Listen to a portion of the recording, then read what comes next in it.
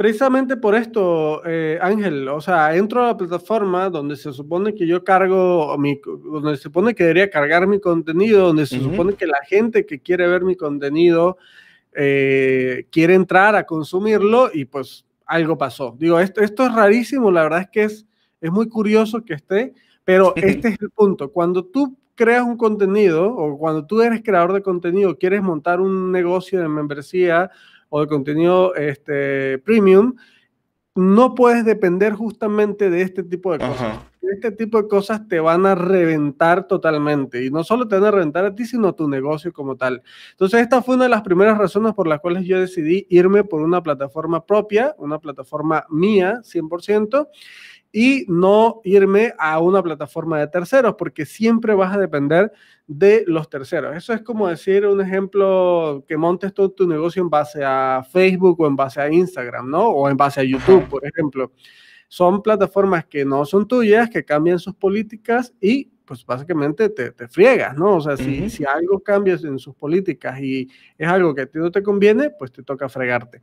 Entonces, esa fue una de las primeras razones y por eso yo mm, predico mucho el hecho de que tú seas el dueño de la base, sobre todo si es algo de lo que quieres vivir, es algo de lo que quieres ganar dinero, pues tú tienes que ir a la base. ¿Cuál es la base en este caso?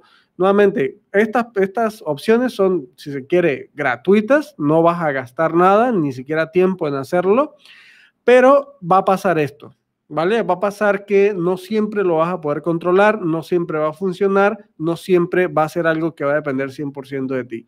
Entonces, cuando... Y aparte las, las ganancias, ¿no? O sea, por ejemplo, las plataformas de una forma cobran alguna comisión, ¿no?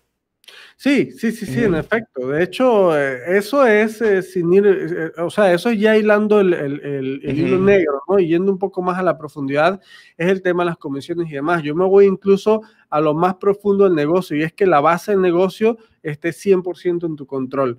Porque ponte tú que bueno, que tú dices, ¿sabes qué? Me cobran uno, porque al final una pasarela pago te cobra una comisión también, o sea, siempre vas a tener pagar una comisión de algo por un servicio que te preste un tercero, pero eh, si tú no tienes control de eso, pues entonces ahí estás completamente fregado. Entonces, esa es como que la primera regla, ¿no? Para tú poder decir montar un negocio de membresía. Digo, yo no estoy en contra, por ejemplo, de plataformas como Boy Me a Coffee o, Patreon, este, pero nuevamente, tú no tienes control de ello, a pesar de que son plataformas muy estables y demás. Eh, definitivamente, eh, una de las primeras reglas para montar un negocio online en base a un membership o un bloqueo de contenidos es hacerlo en tu propia base. Y para ello, pues WordPress es una de las mejores alternativas que hay porque, bueno, WordPress es gratuito, comenzando, y la, casi todas las herramientas que necesitas para montar una plataforma online son gratuitas o de un coste bastante, pues, asequible, ¿vale?